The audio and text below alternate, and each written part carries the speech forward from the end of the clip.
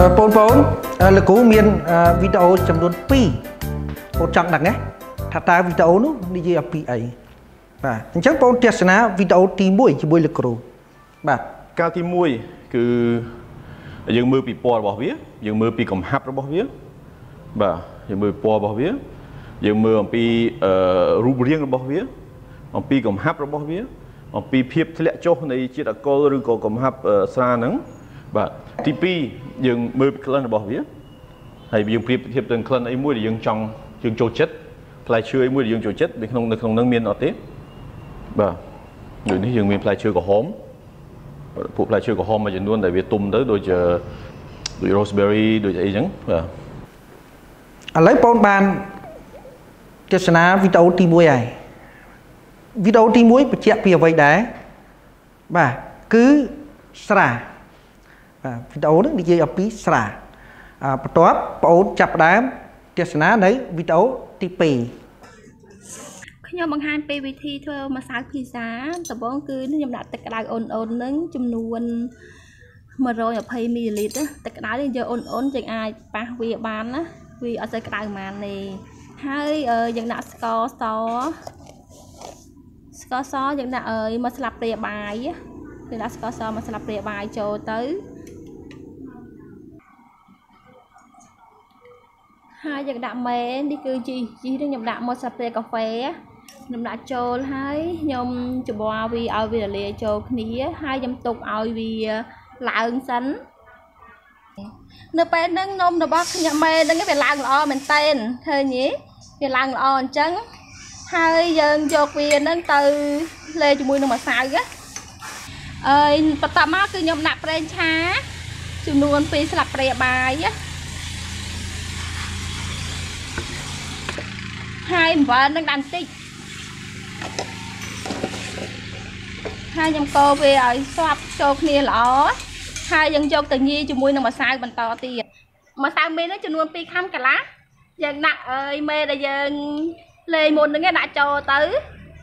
ដាក់ចូលក្នុងម្សៅយើងហ្នឹងហើយយើងកូរវា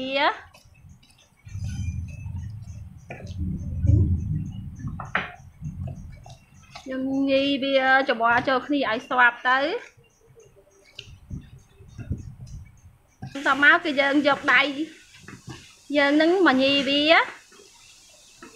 ឲ្យវាចូលគ្នាល្អ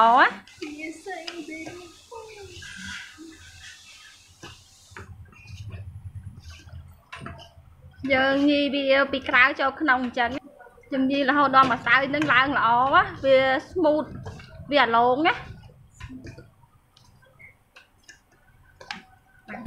នៅពេល ដែលវាចាត់ដៃយើងណាយើងយកវាមកញីបាត់ដៃយើងអញ្ចឹងណាហើយយើងញីបន្តញីរហូតទៀត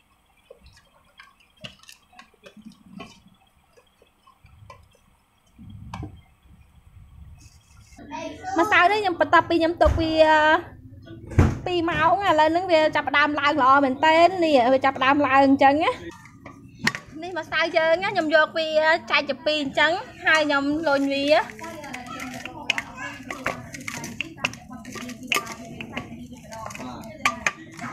អូ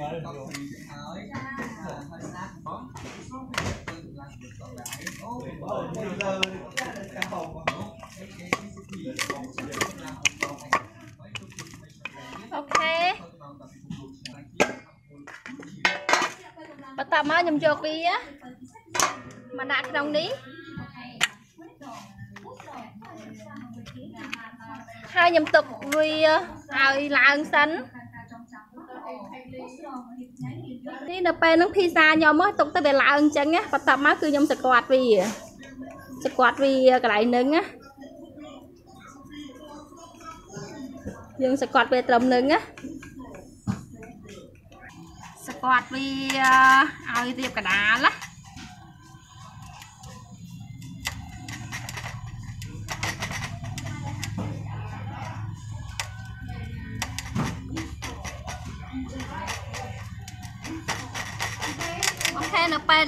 កដាអញ្ចឹងយើងដាក់ទឹកពេញពណ៌បាទបងសង្កេតឃើញយ៉ាងម៉េចដែរវីដេអូទី2វីដេអូទី2គឺនិយាយអំពីការធ្វើនំភីសាបាទអញ្ចឹងបងគិតមួយស្រាមួយនំភីហ្សាតើរូបធាតុទាំងពីរនេះជាអ្វីដែរមករូបធាតុទាំងពីរនេះគឺជាលបាយប៉ុន្តែយើងពិចារណាទៀតថាតើលបាយនឹងដូចគ្នាឬអត់ បាទអត់ដូចទេមែនទេបាទអត់ដូចទេអញ្ចឹងបើអត់ដូចនៅថ្ងៃនេះលោកគ្រូចង់បង្ហាញបងអូនអំពីប្រភេទលបាយបន្ទាប់មកគ្រូមានសំណួរមួយសួរបងអូនតើលបាយមានប៉ុន្មានប្រភេទបាទបងស្ដាប់ដល់ទៀតតើលបាយមានប៉ុន្មានប្រភេទបាទ ដល់តើគ្រូសួរជាលើកទី3តើលបាយមានប៉ុន្មានប្រភេទដើម្បីឲ្យបងងាយស្រួល ក្នុងការឆ្លើយ គ្រូមានចម្លើយសម្រាប់បងជ្រើសរើសចំនួន3មកចម្លើយកមានមួយប្រភេទពោលស្ដាប់តើនេះចម្លើយកមានមួយប្រភេទ ចម្លើយខ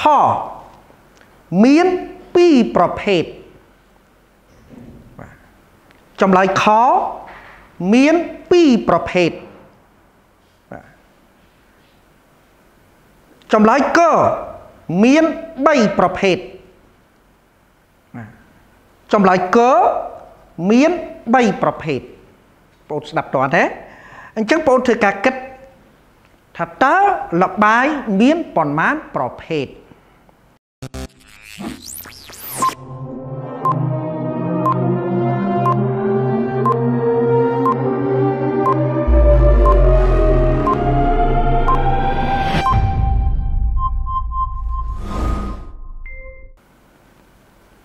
ឡូវប្រហែលជាបងអូនគិតឃើញហើយអញ្ចឹងផ្ទៀងផ្ទាត់ចម្លើយជាមួយនឹងគ្រូបាទ ប្រភេទនៃលបាយមានបងអូនគិតថាចម្លើយណាត្រូវកខឬក៏កចម្លើយដែលត្រឹមត្រូវនោះគឺចម្លើយខលបាយមាន2ប្រភេទហេតុអីបានលបាយមាន2ប្រភេទគូសុំបកស្រាយដោយចម្លើយដែលមិនត្រឹមត្រូវគឺចម្លើយកនិងចម្លើយកចម្លើយកលបាយមានមួយប្រភេទ អញ្ចឹងបើលបាយមានមួយប្រភេទធាតុបង្ករបស់លបាយគឺដូចដូចគ្នាទាំងអស់បើវាដូចដូចគ្នាទាំងអស់យើងហៅថាអង្គធាតុសុទ្ធដែលបងអូនបានរៀនមានរៀនមុនហើយពីអង្គធាតុសុទ្ធនិងអង្គធាតុសមាសបាទអញ្ចឹងវាមិនមែនជាលបាយទេវាតែមួយធាតុបកកតែមួយ វាជាអង្គធាតុសុទ្ធបាទអញ្ចឹងចម្លើយកមិនត្រឹមត្រូវចុះចម្លើយកវិញលបាយមាន3ប្រភេទ បងអូនធ្លាប់ឮទេតើលបាយមាន3ប្រភេទអញ្ចឹងចំណុចកនេះក៏មិនត្រឹមត្រូវដែរព្រោះគ្មាននៅក្នុងខ្លឹមសារនៃមេរៀនរបស់យើងទេអត់មាននិយាយថាលបាយចេញមកមាន3ប្រភេទក៏អត់មានបាទតាមរយៈវីដេអូដែលបងប្អូនទស្សនាទាំងពីរមិញនោះគឺក៏មានតែពីរដែរស្រាហើយនឹងនំភីសាអញ្ចឹងចម្លើយដែលត្រឹមត្រូវគឺចម្លើយខលបាយមាន 2ប្រភេទគឺលបាយស្មើសាច់និងលបាយមិនស្មើសាច់គ្រូលើកឧទាហរណ៍ទី1គ្រូនិយាយអំពីលបាយស្មើសាច់លបាយស្មើសាច់មានដូចជាទឹកដោះគោទឹកអំបិលណាមានតទៅទៀតដូចជាវីដេអូយើងមិននិយាយពីស្រាក៏ជាលបាយស្មើសាច់ដែរណាទី2លបាយមិនស្មើសាច់ លបាយមិនស្មើសាច់ដូចជាសម្លកកោបាទសេឡាក្រានីតហើយតាមរយៈវីដេអូយើងមិញនោះគឺនំភីសាជាលបាយមិនស្មើសាច់គូសុំបញ្ជាក់បងអូនឬក៏បងអូនត្រូវចំណាំទុកចាំទុកគេលោកគេសួរយើងអត់ដឹងតើហេតុអីបានសេឡាក្រានីតជាលបាយសេឡាក្រានីតវាបង្កឡើងពីធាតុ3ធាតុទី1នោះគេហៅថាខ្វាត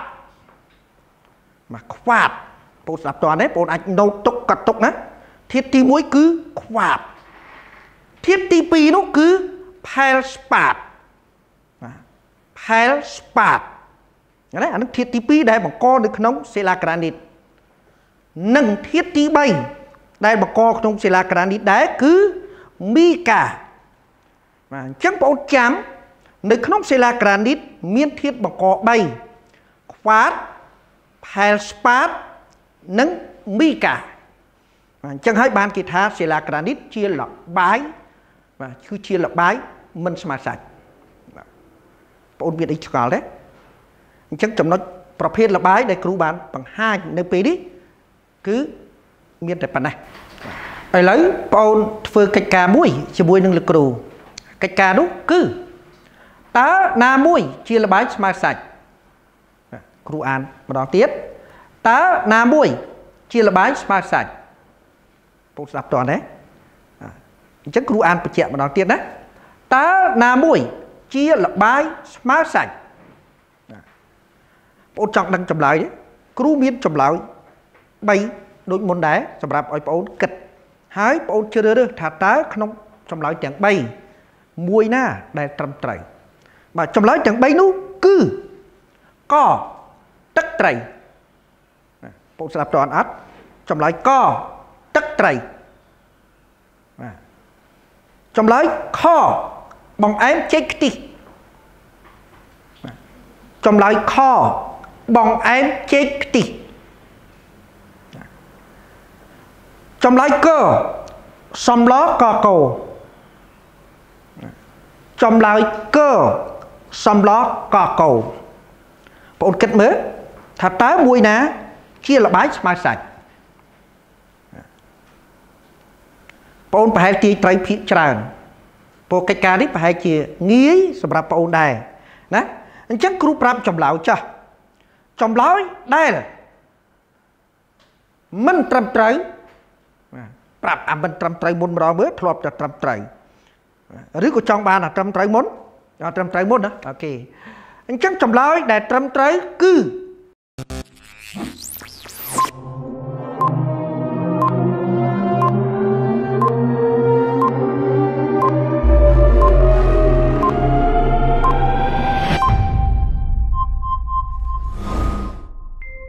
ចម្លើយ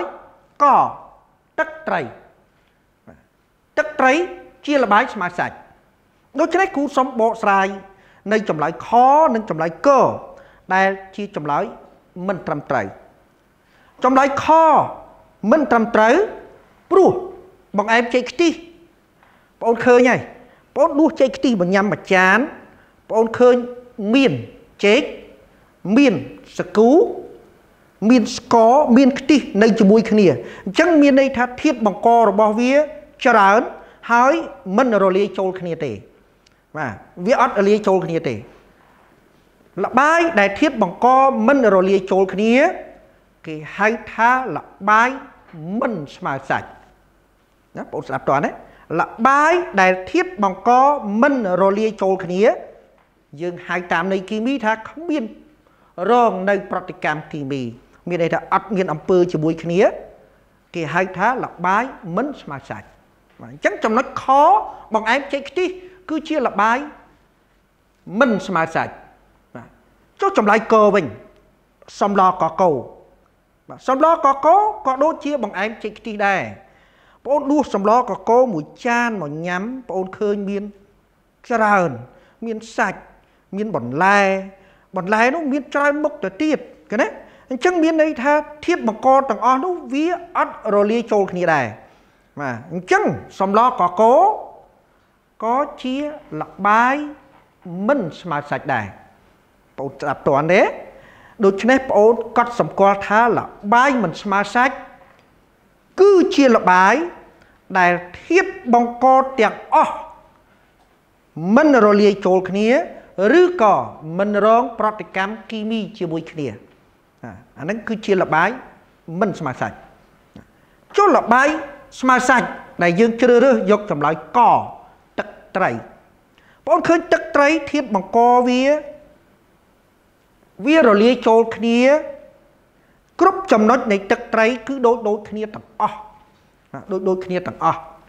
អញ្ចឹងទឹកត្រីคล้ายជាលបាយស្មើសាច់ដែលគេហៅពាក្យមួយថា សូលុយសុងចាណាសូលុយសុងអអញ្ចឹងបងត្រូវចាំពាក្យនឹងមួយទៀតហើយកញ្លោតរៀនទៅខាងមុខទៅវាជួបពាក្យហ្នឹង solution មានន័យថាជាលបាយស្មើសាច់ដែលមានធាតុបង្កពីរឬច្រើនរលាយចូលគ្នាណាអញ្ចឹង បងអាចចាំនៅយមន័យនេះបានយមន័យលបាយស្មើសាច់ឬនិយមន័យ solution វាដូចតែគ្នាទេវាជាសារធាតុដែលមានធាតុរលាយពីរឬច្រើនរលាយចូលគ្នាណាធាតុបង្កវានឹងពីរឬច្រើនរលាយចូលគ្នាទៅ វាបង្កើតទៅជា solution ឬគេហៅថាលបាយស្មើសាច់បងអូនយល់បានទេ អាចចាំបានទេអញ្ចឹងបងអូនណូតទុកណាណូតទុកចាំទុកគេលោកបងអូនរៀនទៅមុខទៀតជួបអត់ដឹងអញ្ចឹងគ្រូប្រាប់ឲ្យហើយបាទដូច្នេះចម្លើយកទឹកត្រីនេះយើងយកជាចម្លើយត្រឹមត្រូវដោយសារវាមានធាតុរលាយទាំងអស់នៅក្នុងទឹកត្រីហ្នឹងរលាយចូលគ្នាបាទអញ្ចឹងការបង្ហាញរបស់គ្រូអំពីលបាយស្មើសាច់នៅពេលនេះបាទសូមបញ្ចប់ប៉ុណ្ណេះបាទសូមអរគុណ